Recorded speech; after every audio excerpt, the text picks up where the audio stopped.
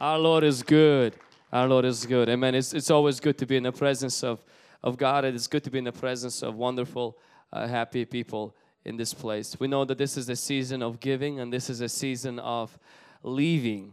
A lot of people, this is the moment they leave their city, go to other place, go to visit their families, spend time with families, spend time with all of these things, and it's all great. But today you made a good decision to come to church. You made a good decision to come to the house of God, and you made a good decision to come and worship the name of Jesus Christ. Merry Christmas and Happy New Year. Amen. Amen. I was really hoping we are gonna sing us a Christmas song or something. I got my my moves on, but well, next time. Amen. Next time. Next year. no, this Wednesday we have a service. We're gonna, we're gonna celebrate Christmas uh, a service in the morning. We welcome everybody to it. Also, in a week from now, they're deciding whether we should have. Should we have a service at 10 or 11? Everybody for 11, raise your hands. Everybody for 10, raise your hands. Okay. We'll have a service at 11. Anything else we want to vote at the same time while we're here? Amen. So the service will be at 11 o'clock on Wednesday. The church has decided. Now make sure you come for the church that you've decided. Amen. And so, because usually people bail out on Christmas morning. And then a week from now, we'll have our last service of the year on Tuesday night, New Year's service, where we're going to pray for the new year. We encourage all of you to come. Next Sunday, everybody say next Sunday. Everybody say next Sunday. We're going to have a prayer with the anointing water from Prophet TB Joshua next Sunday. So we have people coming and we're really, really excited. Uh, it might be a little bit smaller in size, but it's not going to be smaller in the presence of God. Amen. A prophet TB Joshua specifically, after I asked him if we should continue to pray with anointing water, he specifically instructed and uh, well, with a little attitude, he said, uh, How dare you ask that question whether you should pray with anointing water or not? And um, I felt like a foolish boy. And he gave us uh, probably the most anointing water this time that we've ever received before to pray for the people in the United States.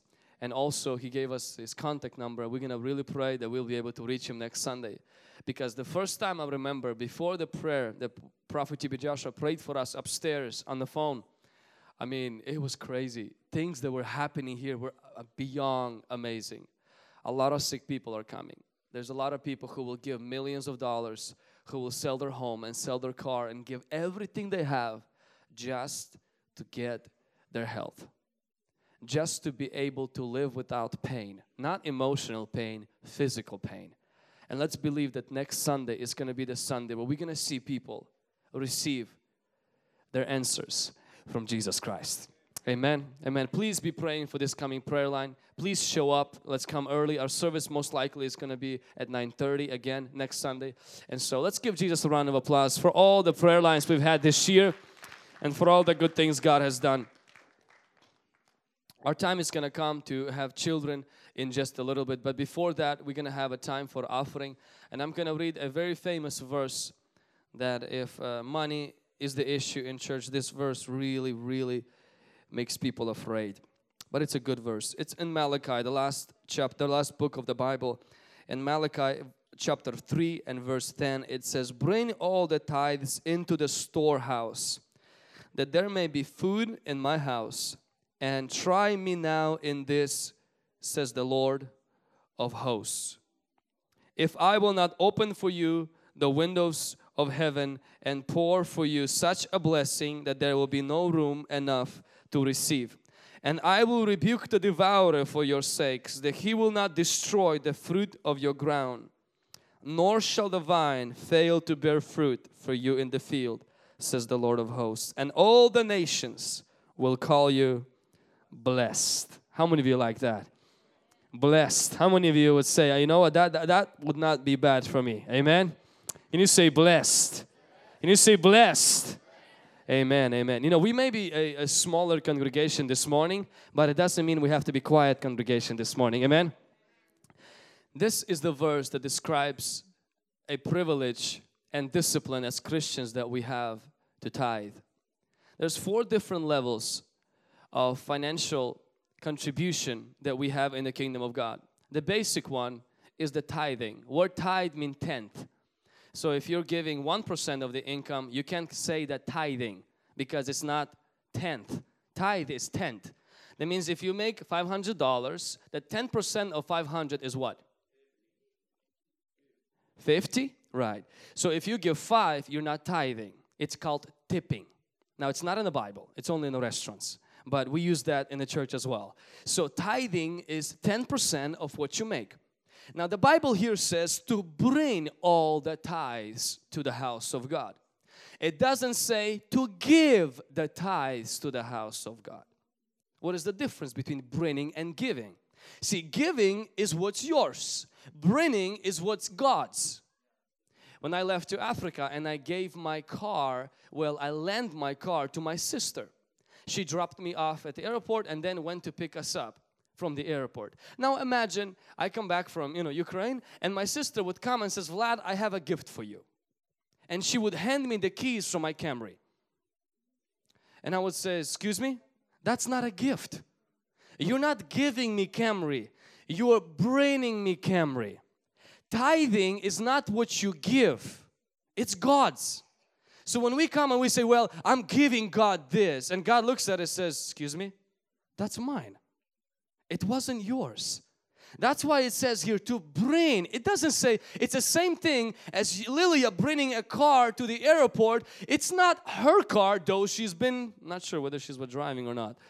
But though she's been driving that car, she's bringing it and she's not coming with the gift. She's coming with, well, it's His. And this is what it says in here God says, bring all the tithes. He doesn't say give the tithes because tithes are not yours, they belong to God. Now, a lot of Bible theologians they immediately get offensive because they say tithing is Old Testament. It's under the law. But we, those who read the Bible, know that Father Abraham, who's our example of faith, tithe, and there was no law. Law has nothing to do, tithing has nothing to do with the law. And our Lord Jesus Christ, when He rebuked Pharisees for being tithing out of the leaves in their garden, but forgetting justice, mercy, and judgment. And Jesus says, These you ought to have done. These means tithing out of the leaves in your garden. These you ought to have done without leaving others undone. The Lord never canceled it because it's something that belongs to God, not to you. I've heard a story that really kind of encouraged me with that Adam in the garden, when Adam ate of the forbidden fruit, it was same thing as Adam eating his tithe. Because if you think about it, in the garden, Adam was allowed to eat out of every tree. But there was one tree God says, don't touch this. It's mine. Don't, that's not for you to eat of it. And the Bible says, well, Adam went and ate of the tree he wasn't supposed to eat. That's exactly what happens. As Christians, 10% of your income is not for you to eat of it. It's not for you to buy new socks, new underwears, or new diapers, or new food. And I understand many people say, I can't afford to tithe.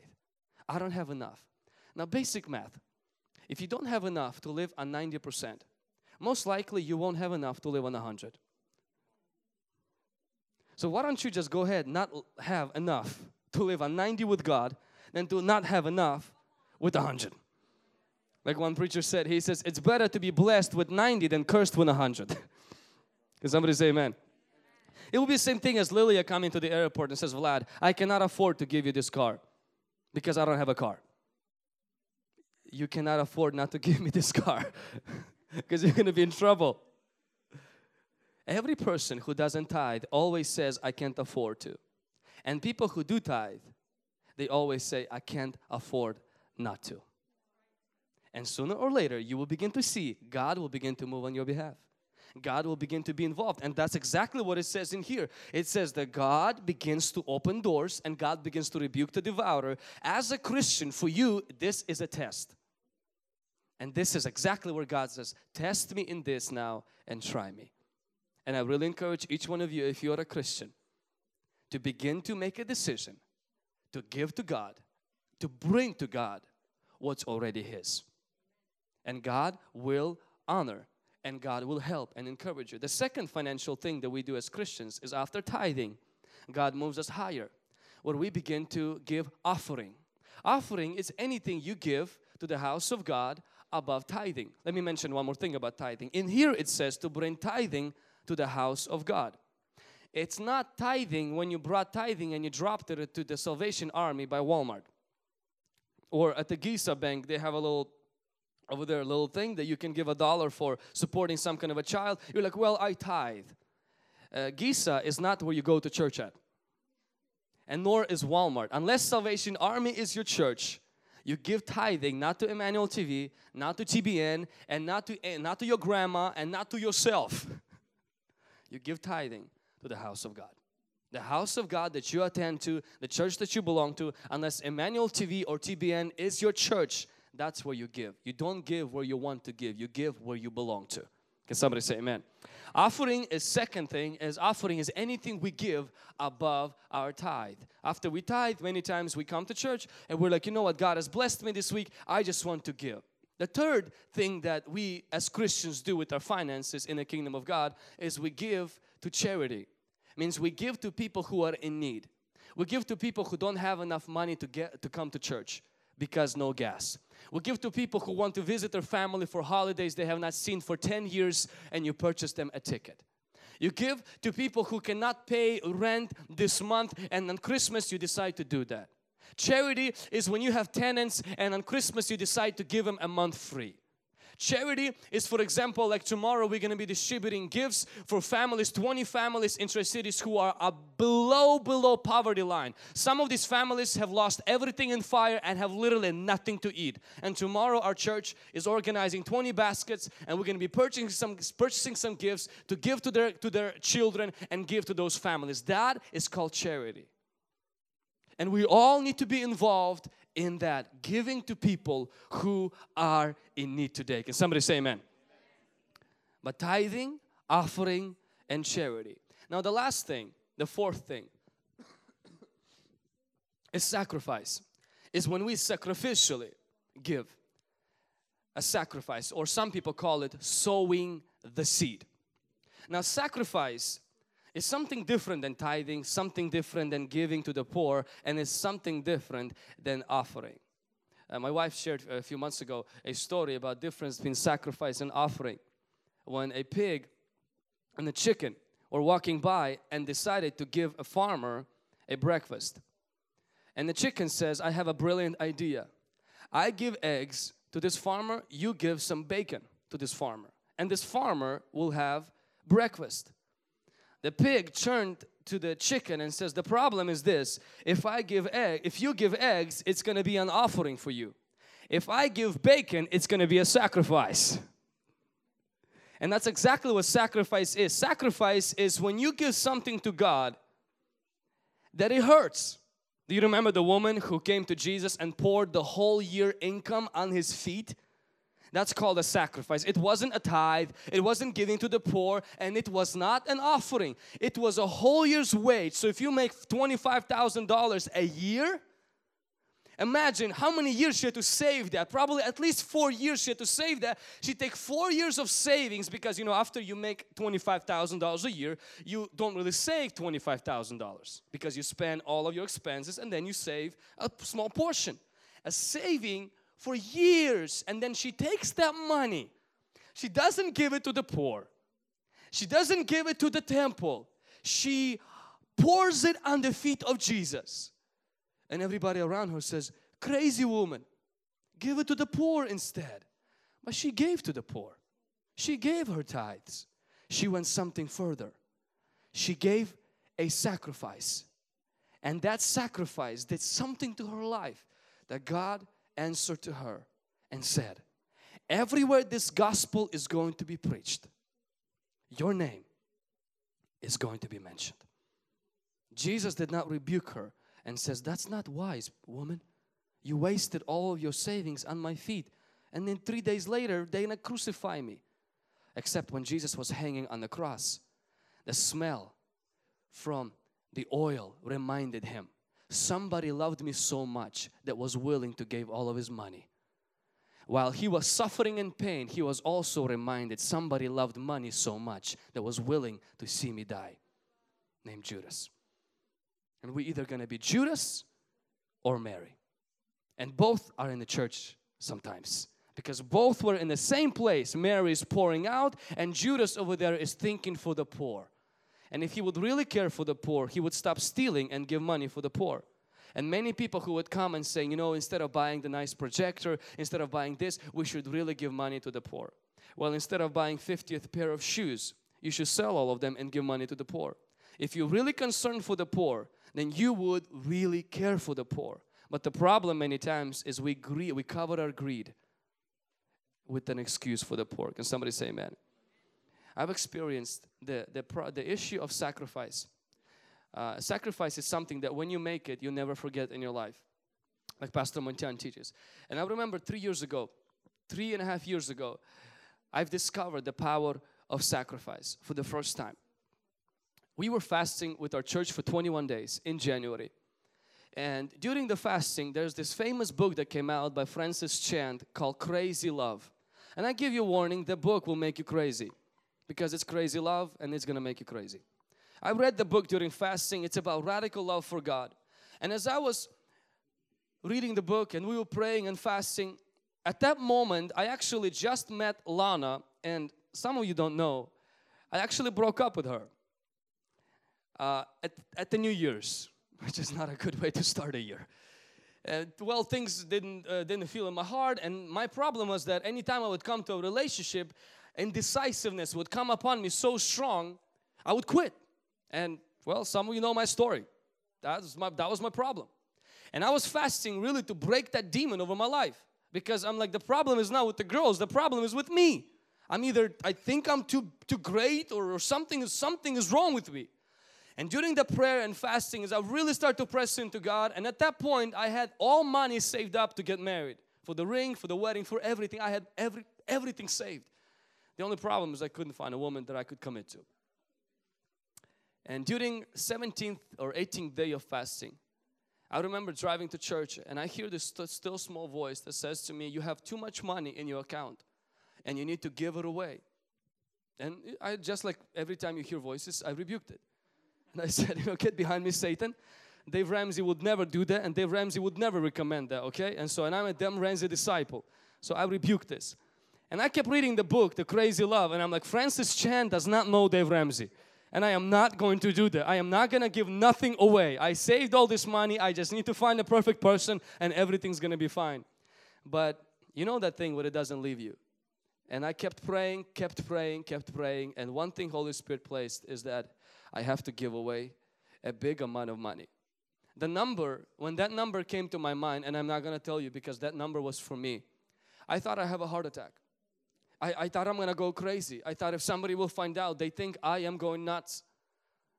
I decided to do that actually. I'm like, you know what, who cares? I already fasted for 19 days, I'm reading crazy book, I'm becoming crazy, I can't get married, nothing can get worse. And so I took a big amount of money and I started to pray for next two weeks, what should I do with that money? And it was so amazing. The presence of God filled me out with, with tears. Like, God, I feel like I'm closer to you. I am more like you now because I'm giving and, and everything. And after I gave, gave all of that away in two weeks, I remember this like yesterday, driving on the highway 182 and literally thinking, I lost my mind. Literally thinking I took all that money and drained it in the toilet. And I'm like, what the heck just happened to me? Reading crazy book, fasting, not eating enough, it's messing with my mind. I gave a big sum of money away. And I was like, if somebody comes up, I'm not going to be able to get married because I don't have enough money. This is not going to work. The funny part is exactly to the day, eight months later, I was married in this suit. I'm wearing it on purpose, that's why it looks bigger than me for the testimony. Eight months later, I was married. Indecisiveness, that some of you people who close uh, to me knew, indecisiveness was so crazy in my life, I couldn't break it. And I did not give that money to get married. I gave that money because I couldn't get married. I gave that money because Holy Spirit led me not to tithe. It wasn't to tithe. It wasn't give to the poor. It was to sacrifice. Something broke in my life during that year. Something changed. The funny part is when we came back from our honeymoon and I did the calculation, I did not go one dollar into debt to cover for the wedding, for the ring, and trust me, my wife, she has a taste, and the taste costs money. and all of that stuff was satisfied and she was happy and I was not in debt. And today, when I look back at that point of my life, I am reminded of one thing. As a Christian, you can't do that every month, make those sacrifices. But sooner or later, after tithing, you will go to offering and you will go to helping the poor. But after that, there will be times in your life, like in the life of Solomon, he becomes a king and he kills 900 bulls. He kills hundreds, hundreds of bulls to offer a sacrifice to God. There will be a time in your life like in the day of Elijah. Before the fire comes, he kills a sacrifice. Animals are rare commodity in those days when there was a famine. He brings a sacrifice. There will be a time in your life like a wise man who bring gold and myrrh. They're not bringing Washingtons and laying at the feet of Jesus. This was a sacrifice and you and I need to have those in your life. That you look back in your life and you said, there was a point where I died. There was a point a bacon was cut off so that God's kingdom can be prolonged for the glory of God. Can somebody say amen? You may not be at that point right now, but I really ask you this coming year, let the Lord lead you. What do you do with the sacrifice? Who do you give it to? You don't give it to your uncle, your auntie, or your bank account. You give a sacrifice to a soil that's fertile. You don't give a sacrifice to anybody you give a sacrifice to a ministry that is honored by the Holy Spirit. You give a sacrifice to a place where God has His stamp of approval. You don't just give a sacrifice, like, I'm just gonna give it away. That's like same thing as taking a seed and says, I'm gonna sow. And you went on a highway and you sowed the seed. Now you can feel really good about sowing, but you're not gonna reap nothing because the soil you sowed into cannot produce. And with the sacrifice, what we must do is we must, with the sacrifice, find a soil. I'll give you a hint. Emmanuel TV is a very good soil. Some good things grow out of that. People can sow into that. There's a lot of wonderful, God honoring, humble, loving the poor, Holy Ghost filled soils that you can sow into. But you and I must understand in order to move further with God, you must go above tithing into offering above giving the poor into sooner or later, at least once a year, once in two years, make a sacrifice as the Lord leads you. A sacrifice that could bring the fire of God into your life and bring a change into your life in Jesus' name. That's why I'm optimistic, optimistic about next year. I can't help but be optimistic about next year because I know that a sacrifice draws the fire of God. It becomes God's responsibility to take care of our future in Jesus' name. Amen. And God is on our side, amen. God is not going to ever let us go, and we are going to be the people who will tithe, who will give, who will help the poor, and who will, when the Spirit leads us, to sacrifice. Can somebody say amen?